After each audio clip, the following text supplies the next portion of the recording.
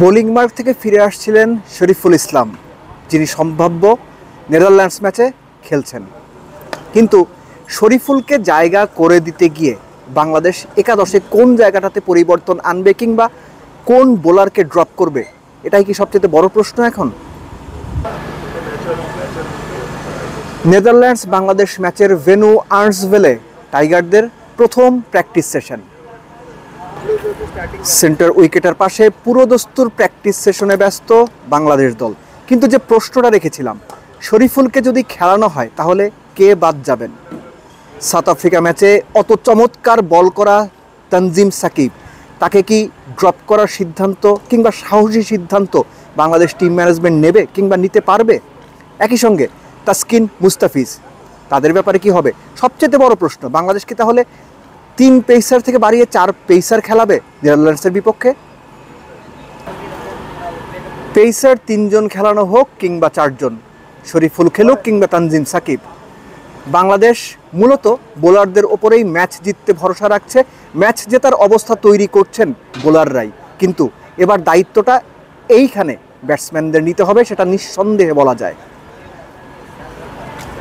যদি বেস্ট ইলেভেনের কথা বলা হয়, তাহলে top three four five six এই কয়টা জায়গাতে আদৌ পরিবর্তন হবে কি না সেটা একটা বড় প্রশ্ন। কেননা সাউথ আফ্রিকা ম্যাচে জাকের আলী অনিক যেভাবে পারফর্ম করেছেন কিংবা গুরুত্বপূর্ণ সময়ে জাকের আলী অনেক যেভাবে ব্যর্থ হয়েছেন, তাকে একাদশে রাখা হবে কিনা, এটা নিয়ে একটা গুরুতর প্রশ্ন সামনে চলে এসেছে। বাংলাদেশ টিম ম্যানেজমেন্ট এই একটা ব্যাপার নিয়ে চিন্তিত।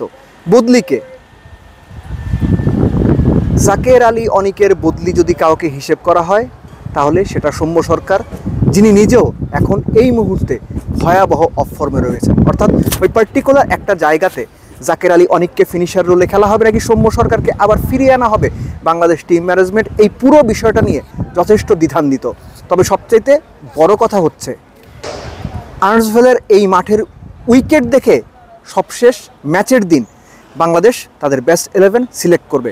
সেখানে একাদশে একজন বেশি স্পিনার কিংবা একজন বেশি পেসার যদি দেখা যায় জাকের আলী অনেককে ড্রপ করে যদি সৌম্যকেও খেলানো হয় তাতেও অবাক হওয়ার কিছু থাকবে না।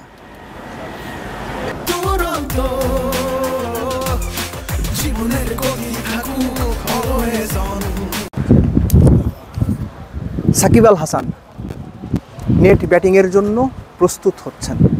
মাঠের বাইরে সাকিবের প্রস্তুতি সাকিব জানেন। তাকে ফিরতেই হবে। সাকিব জানেন, তাকে জ্বলে উঠতেই হবে।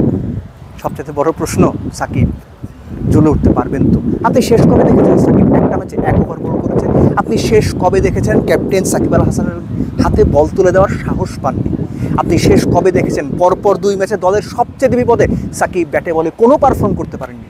এই সাকিব অচেনা, এই সাকিব অপরিচিত, এই সাকিব আমরা কখনো দেখিনি। এই মাঠ, এই ওয়েস্ট ইন্ডিজ, সিপিএল কন্ডিশন সবচেয়ে বেশি চেনা আমাদের সাকিব আল হাসানের।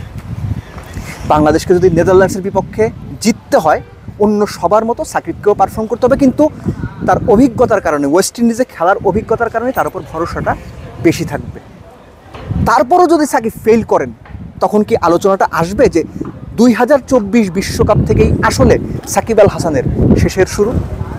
চাই না আলোচনাটা আসুক এবং প্রত্যাশা করি সাকিব আল হাসান নিজেই পারফর্ম করে আলোচনাটা থামিয়ে দেবেন।